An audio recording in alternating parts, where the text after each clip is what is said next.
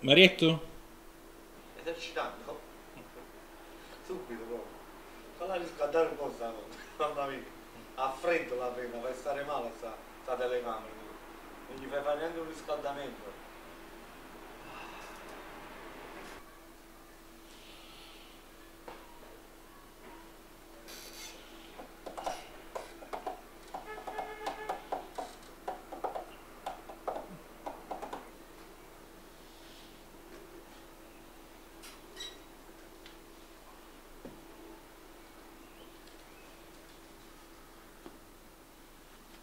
Assittate. E provate a girare, dillo che ti no, a tenere l'estate, tutta la vita. Eh, luce bella che tiene tu, vai. Ma quando è che mi fai trovare due luci come si deve qua? Questa qua non è buona, ah, questa è da una macelleria, ma buona.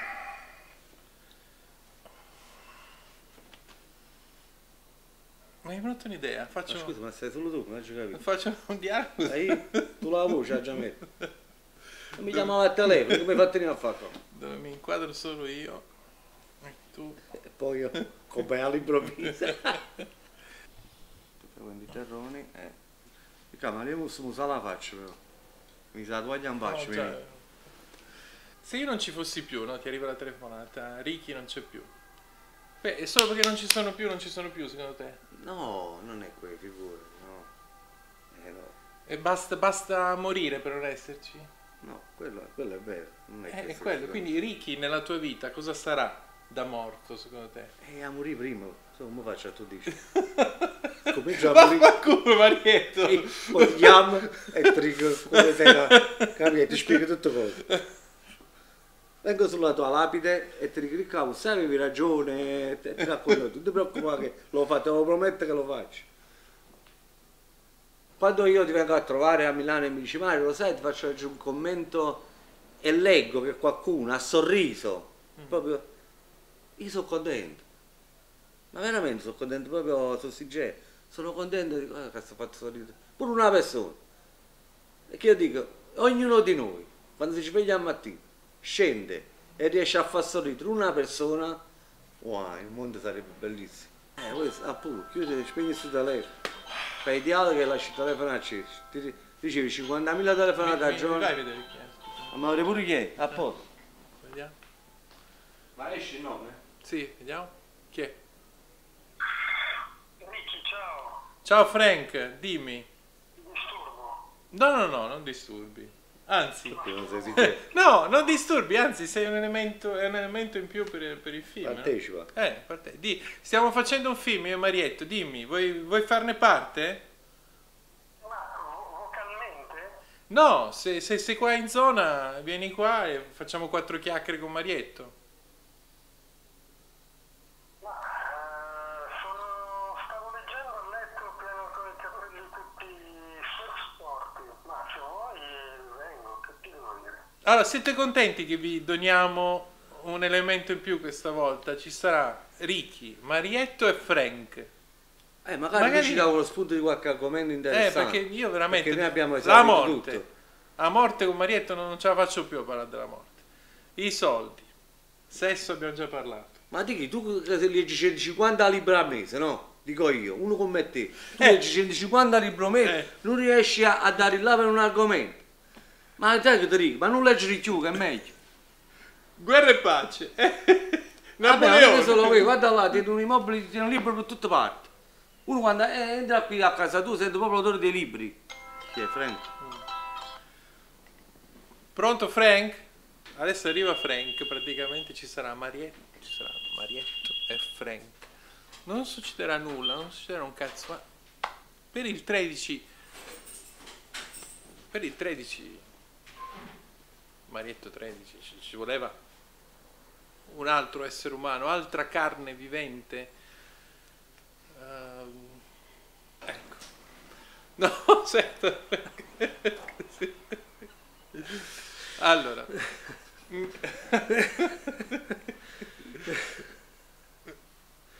cioè, lui è Frank.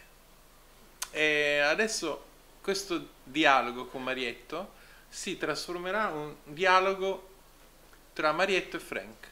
Eh, questo è il bello, non si capisce. Non si capisce. Cosa posso offrirti? Nulla. Allora, come notate, tutte le persone che vengono alla Chisciotte sono, hanno un fondo di disperazione. Potete guardare gli occhi di Frank, il suo sguardo. Ha un fondo di disperazione, ma non sono dei- delle persone che si abbattono, però. Vivono la disperazione come un nutrimento spirituale. Vedete?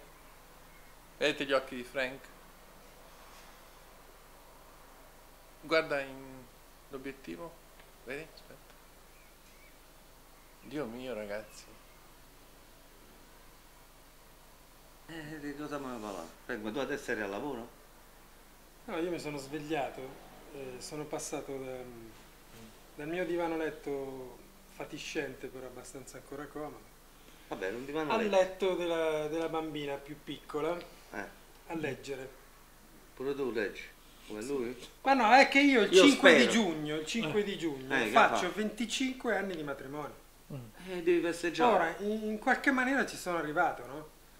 E pensavo di esserci arrivato in- dopo tutti i casini che ho avuto in Toscana della mia famiglia, eh, in una maniera quasi armoniosa, e invece non è così, non è così. Mi Però, Fred, riscopro a litigare in continuazione con sta donna, non avere un punto di... e questo mi, Però Frank, ti posso dire questo una mi sta togliendo tutte le forze. non- Eh, però sono pure. Frank, sono pure 25 anni, eh. Qua la gente si sposa dopo, dopo quando esce dalla chiesa ci hanno litigato. Lo so. Cioè, perché già è un bel successo che hai avuto. Mettila, ecco, pensi in positivo. Ma lo so, Io ma sto da uno 25 deve... anni. se- E poi bisogna vedere pure le Se fra tre giorni devo scontrarmi un'altra volta. No, urlare, non devi andare allo scontro, basta, però che ci sono- sia una litigata ogni tanto, quelle ci stanno. Secondo me è proprio quello che mantiene vivi il rapporto. No, no. Tu pensi quando tu torni a casa che ognuno sta per i fatti suoi, no? Cioè, è meglio che litighi, secondo me. Almeno la cosa è viva. Ah, Tu torni a casa, vai a sentire buonasera, buonasera, come due estranei, cioè uno sta di là dice ah non ho litigato. Però è spalle. No, Quando perché- fai così a me non mi piace, veramente, No. Riccardo. Marietta, è che non sono nessuno. Ti giuro, guarda, io sono sotto zero. Io sono l'ultima ruota del carro. L'ultima? Proprio l'ultima. La più oliata. Neanche neanche le scorte, che là da là, il rotino. No, proprio la ruota. Però ha una psicologia intuitiva, una diagnosi intuitiva, diciamo così, eh, delle persone. Eh, sente l'energia, l'energia. Che energia ti sta mandando? Qual è la diagnosi che fai? Anche se il termine... Cosa stai avvertendo? No, sto avvertendo che lui soffre molto di questa situazione, perché se no, capi, veniva qua con un altro spirito. Però gli voglio dire, ti voglio dire a te, Frank, visto che stai qui a fianco a me, incomincia a pensare, sono 25 anni che sto con questa... Ma lo so, ma Poi, aspetta, lo so. eh, lo so, aspetta, poi fammi parlare però, poi dopo mi rispondi. Poi hai, c'hai dei figli, no? Penso, tu, tu quando ne hai? Due bambine? 25 e 8. 8 anni c'è l'età di mia figlia, la, la- la seconda età. Ecco, questo pure è una bellissima cosa. Ovviamente lo so che il rapporto con quello di 25 è diverso da quello che c'è quello di 8 anni, però comunque avete creato qualcosa di bello, no? Cioè non è che state a sì. 15 anni così di pezzo di ma va a appiccicare solo, quello no. Allora tu cominci a trattare le cose positive che ti è capitato in questi 25 anni. E le cose negative, qualcosa cerca di scattarle, perché secondo me già hai fatto il messaggio, co- sono cose Ma un no, po'. ma non era un c'è bisogno di litigare così. perché ti arriva un messaggio tu scherzi, magari perché c'hai problemi sul lavoro, sai, sono tante cose.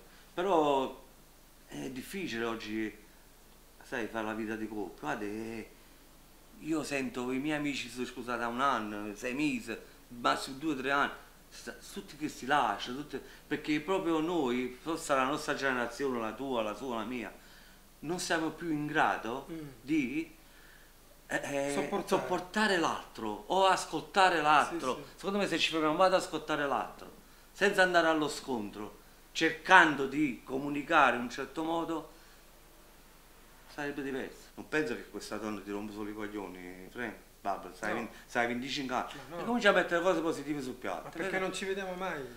Meno male, quindi si una giornata, capito? eh vabbè, però tu comunque se- questo è arriva così. la domenica Frank, questo poi non- questo. non mi neanche prolungare, veramente, la finisco qua anche perché me ne devo andare.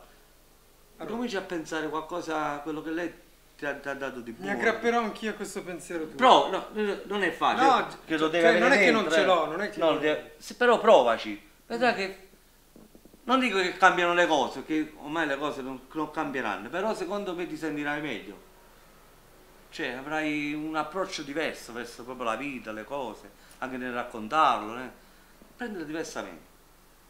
Poi, Fred, io me lo auguro tutto il cuore, anche se non ti conosco da molto tempo, ti ho conosciuto adesso, però secondo me uno bisogna fare così, se no non si fa più. Fred. Poi bello, sai Fred, quando tu fai così, ti ammali tu, E appunto. non è un problema, dici vabbè mi faccio così, quella... No, quello è tu ti ammali tu.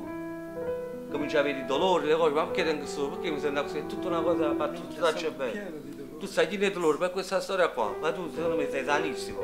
Io quando bacio, tu sei una persona sana. Però secondo me tu ti senti dolore, ti senti tante cose, che sono tutte, tutte queste cose, queste tue sofferenze. Però che colpa anche tu perché non le affronti nel modo giusto.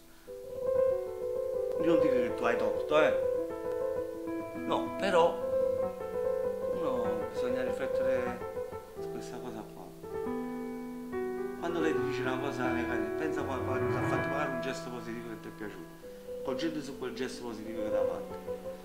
E cerca di eliminare questo, queste cose negative. Prova così, quando ci rivediamo so fra due mesi, tre mesi, quattro mesi, quando ritorno qua, non lo so quando, ti vengo a trovare al tuo locale, ci beviamo un bicchiere di vino e beh, se ne hai voglia me lo dici, se non- io non sono un invadente.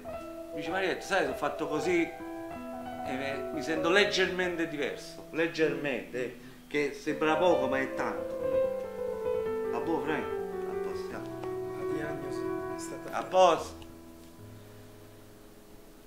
Regista, come si bello quando sta dietro alla macchina. Riccardo, posso dire una cosa? Sei più bello dietro alla macchina, vero? Mi piace di più. Lo sai? Si fatti sento stare. Vedi? Perché proprio un regista, capito? Quando vedo là dietro.